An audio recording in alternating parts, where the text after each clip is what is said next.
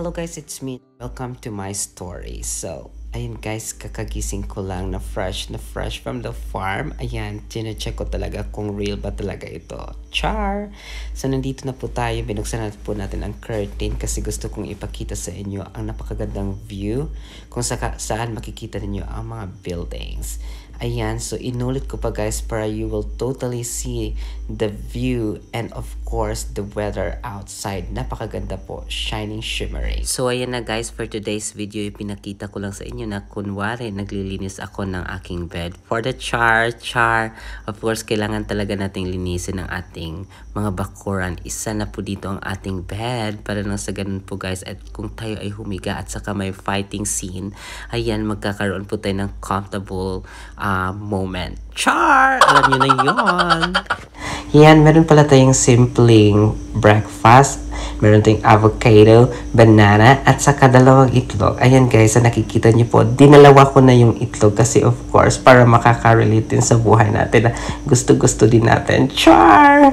Alam niyo na this. Okay, so nakikita niyo po guys na naka-attire na po tayo ready for today's battle. Ayan, so naka-attire po tayo ng formal attire dahil of course, teacher po tayo at saka magle-lecture po tayo sa mga bata. Dapat of course, walang masabi sila sa ating beauty. Ayan, so nandito na po tayo ngayon sa aming school.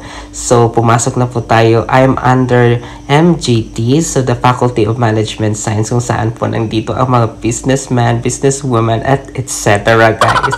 So, dito talaga ay makikita niyo mga fresh tomatoes, char, fresh na mga people, guys, dahil ito ay business center of the world. Aha, mali pala, guys. It's universe, rather.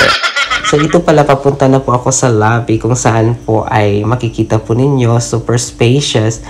At dito din gumagawa ang mga bata namin ng mga activity. Dito sila tumatumbling, dito sila nagsisplit. At saka of course, dito din kami gumagawa ng activity kung meron po kaming activity sa aming faculty. The Faculty of MGT capsule and teacher. So, papunta na po ako sa aming control room kung saan makikita po ninyo ang computer or laptop dyan. Tapos sa aking trabaho ay magto-turn on ng music. Pipili po ako kung anong genre.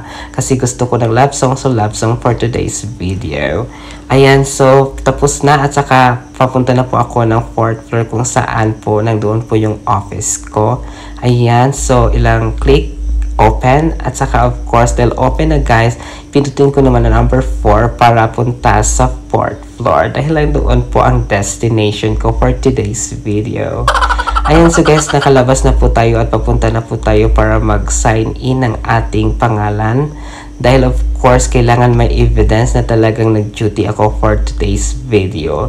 Ayan, nakikita nyo na dyan. Of course, prepare man ako ng maganda kong perma. Char! Hindi ko na yung pinakita kasi hindi talaga totally na picture or na videohan guys. I'm so sorry. Aha, so this is the outside my office. Ayan, makikita nyo po dyan. Ito na po yung office ko. Yan, welcome! To my office. Sorry guys, masyadong messy. Pero I hope na enjoy nyo. So may dalawang tables dyan. Supposedly dalawa kami. Pero umalis naman yung isa. So ako na lang talaga dito sa aking office. So in short, akin na ito. Wala nang makakaagaw pa kundi ako na ang may nag ang nagmamay-ari ng office na ito. Char! Parang ako lang ang may-ari ng school na ito. Pero guys, to be honest, ako lang talaga dito mag-isa. Kaya nga, I'm so alone. Char! Pero okay na din. Ayan, so na-realize ko may klase pala ako at pumunta ako sa aking classroom. So nakita ko yung isang estudyante ko. Sabi niya, teacher, bigyan mo ko ng 10 points. Char! Sabi niya, okay teacher, lalabas muna ako kasi mag-CR ako. Oh, sabi ko, wag muna kasi videohan mo muna ako kasi gusto ko makita nila ang aking beauty. So ayan, binidyohan nila ako. So, enjoy kayo guys. Ayan, dumating na rin ang iba kong mga estudyante pagkatapos galit na galit ako. Sabi ko, mag-quiz nga tayo kasi late kayo. Char! At sabi naman nila, ano naman ito? Napaka-long quiz pala ito. So, ayan. So, magdusa kayo. Char!